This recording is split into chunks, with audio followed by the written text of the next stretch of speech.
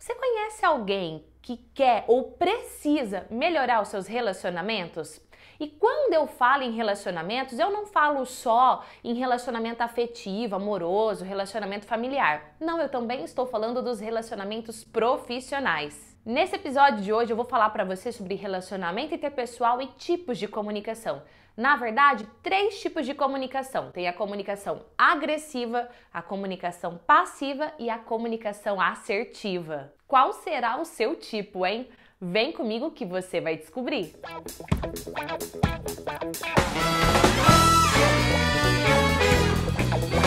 Uau! Seja bem-vindo a mais esse episódio para o seu desenvolvimento e o tema de hoje é relacionamento interpessoal tipos de comunicação. E no final desse vídeo eu vou trazer um teste para você descobrir de verdade qual é o seu tipo. Será que é agressivo? Passivo ou assertivo? Na verdade, mais do que descobrir qual é o seu tipo, você vai descobrir qual tipo você está. Sim, porque não é algo imutável, não. Se você de repente perceber que você está numa comunicação agressiva, você pode mudar. Inclusive, esse é o objetivo desse episódio: trazer um conteúdo uau para te ajudar a ter uma comunicação assertiva, porque a sua vida vai ser muito melhor, seus relacionamentos vão ser muito mais saudáveis. Então já chega chegando o dedo aqui nesse like, porque esse é um feedback super precioso e ajuda esse canal de conteúdo gratuito a crescer. E falando em canal de conteúdo gratuito, esse tema desse vídeo eu já fiz um parecido com esse lá atrás, inclusive é um vídeo muito divertido. Vou pôr até uma imagem aqui para você dar uma olhada, porque eu tinha feito uma cirurgia na boca e eu tava com o rosto mega inchado, mas eu tinha o compromisso de gravar com você e foi inchado mesmo. Tema de hoje, que tipo será de comunicação que você tem? Mas então tô trazendo aqui um conteúdo atualizado de outros episódios que você tem aqui no canal. E se por acaso você é novo nesse canal e busca melhorar seus relacionamentos, sentir-se mais seguro, mais confiante, melhorar sua comunicação, você tá no lugar certo. Então, pode se inscrever e quando você clicar para se inscrever, clica no sininho para ativar as notificações, porque daí toda vez que tiver um vídeo novo, o próprio YouTube vai te avisar que tem vídeo novo no ar. E se de repente você preferir ter acesso a esse conteúdo quando você estiver offline, nós também temos o Wowcast. Eu vou deixar aqui na descrição o link para você. Mas vamos lá. Nós temos três tipos de comunicação. Como eu já disse, a comunicação agressiva, a comunicação passiva e a comunicação assertiva. Repara que eu não usei a palavra personalidade, personalidade agressiva, personalidade passiva, porque às vezes falando em personalidade parece que é algo imutável, é seu assim, não dá para mudar. E não é bem assim que funciona. Então, eu faço questão de falar de tipos de comunicação, porque a gente aprende a se comunicar ao longo da nossa vida, seja de forma assertiva, passiva ou agressiva, mesmo que de repente seja uma forma, por exemplo, agressiva, que não é funcional, traz muitos prejuízos para sua vida. Daqui a pouquinho eu vou falar de consequências a curto, médio e longo prazo. Ainda assim, você aprendeu ao longo da sua vida, foi dando certo e bem ou mal você tá aí do jeito que tá hoje. Mas existe a forma assertiva de você se comunicar que vai fazer com que você tenha relacionamentos mais saudáveis, mais duradouros e mais qualidade de vida. Sem contar que a sua autoestima vai lá em cima. E já que estamos falando de relacionamento, compartilhe esse vídeo para que essa mensagem atinja mais e mais pessoas, para que esse conteúdo gratuito possa transformar e impactar pessoas aí do seu vínculo. Então pega o link, manda no WhatsApp, compartilha com todos seus amigos e familiares. E um ponto importante para esclarecer é que esse conteúdo ele é parte, uma parte pequena de tudo que você encontra dentro do curso online Minha Melhor Versão. Então, se de repente você busca um método mais profundo para ter uma autoestima uau e ter relacionamentos uau, o curso Minha Melhor Versão é uma boa opção para você. Se você quiser saber mais, eu vou deixar aqui na descrição do episódio o link para você. Como eu te disse, são três tipos de comunicação e o primeiro tipo é o tipo assertivo, o segundo passivo e o terceiro agressivo. Vamos começar pelo agressivo? Comunicação agressiva, pessoa fala o que dá na telha dela. Por quê? Porque ela é sincera, porque ela é verdadeira, ela não esconde as coisas. E é desse jeito aí mesmo. A postura dela é desse jeito, ela cresce, ela fala desse tom, ela normalmente atinge a outra pessoa de forma agressiva. Como é que alguém que está se relacionando com uma pessoa com esse tipo de comunicação se sente? Fala para mim, se você estivesse se relacionando comigo e eu tivesse esse tipo de comunicação agressiva, tom de voz agressivo, essa postura intimidatória, esse olho que parece que sai raio do olhar, assim, sabe? Dá de dedo no outro. E tem uma coisa, tá? Você tá errado, você não fez certo, você deveria ter feito melhor, você não entendeu o que eu disse. Nunca é a pessoa, sempre é o outro. Você é uma palavra que ela usa com frequência. Fala pra mim como é que você se sentiria se eu tivesse uma comunicação desse jeito com você. Já deixa aqui no comentário. A comunicação agressiva, ela não tem medo de encarar um conflito não. Inclusive, se ela sabe que ela tá certa de uma coisa, ela vai e fala até o fim e ela fica irritada se o outro não entendeu, porque o outro, porque o outro não tem visão das coisas, porque, porque ela tá certa. Agora tem aquele tipo que foge de qualquer tipo de confronto possível. Sabe assim, que coloca paninhos quentes nas coisas, sabe? Que assim, finge que às vezes é parte da mobília para não chamar atenção, para não arrumar encrenca. Sabe aquele tipo de pessoa que entra muda, sacalada na casa das pessoas, que raramente expõe sua opinião? Por quê? Porque não quer conflito. E aí essa é a comunicação passiva. A pessoa foge de conflitos o máximo que ela pode. E quando às vezes ela percebe a situação esquenta, ela fala: "Não, deixa pra lá, não se importa. Não, isso não é importante". Ela não se defende, ela não defende as suas ideias. Às vezes ela nem sabe qual é a ideia dela. Conhece pessoas assim? Que engole sapo? Que ficou chateado com algo, que não gostou de algo que aconteceu, mas não fala, engole, varre embaixo do tapete. Conhece gente assim?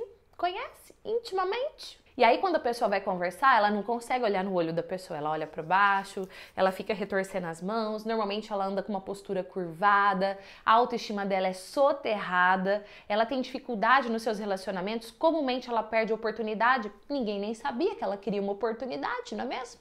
Por quê? Porque ela não disse. E ela faz de tudo para agradar as outras pessoas. Comunicação passiva. Eu já pergunto para você aqui, tá rolando uma identificação aí? Alguém que você conhece, algum parente, amigo, namorado, namorada, esposo, filho? Deixa aqui seu comentário, identificação, que eu quero saber. O fato é que, se a comunicação é agressiva ou passiva, tem consequência. Tem consequência na vida, nos relacionamentos, na autoestima. Qual é o impacto na autoestima de uma pessoa se ela tem uma comunicação passiva? Se ela engole sapo, como é que essa pessoa se sente? Será que a autoestima dela é elevada ou será que a autoestima dela é soterrada?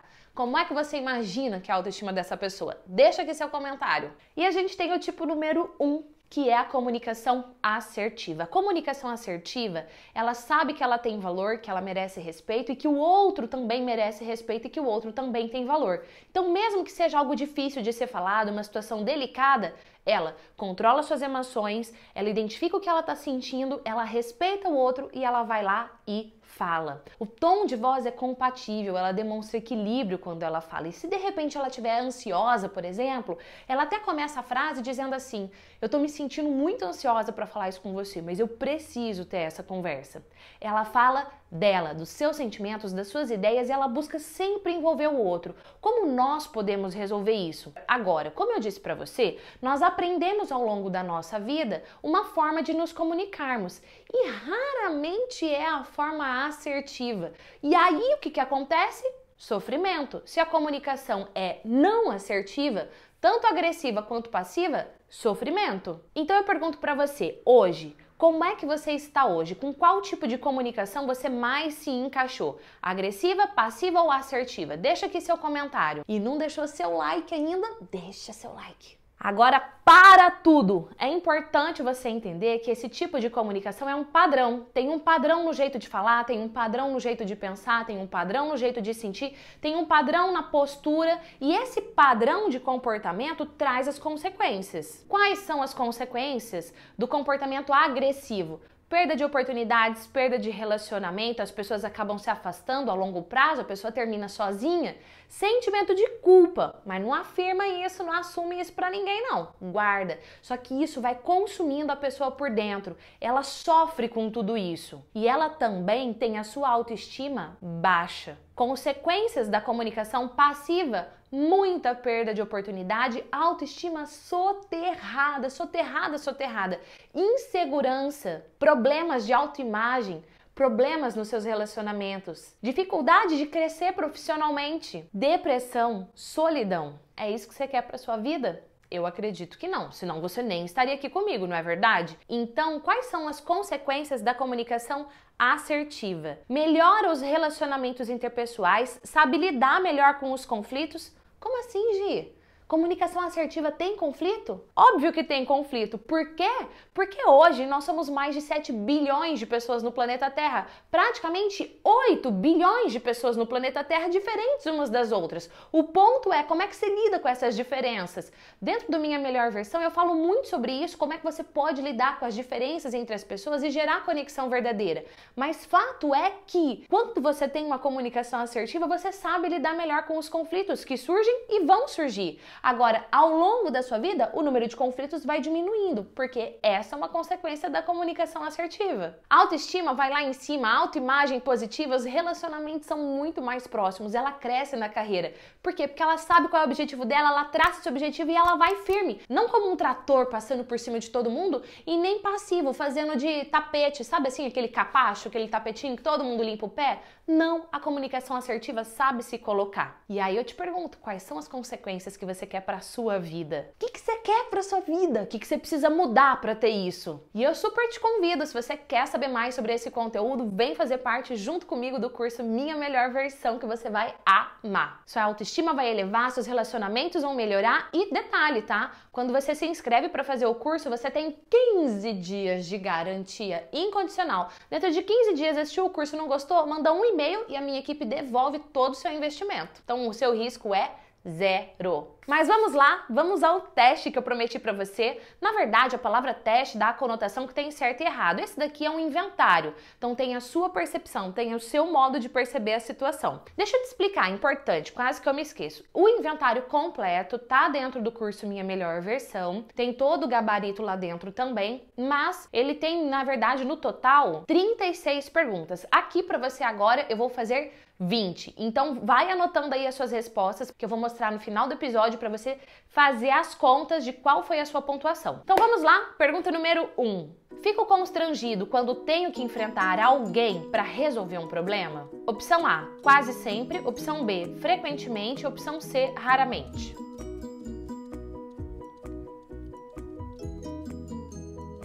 Dois, eu perco a paciência com facilidade pois sou do tipo pavio curto?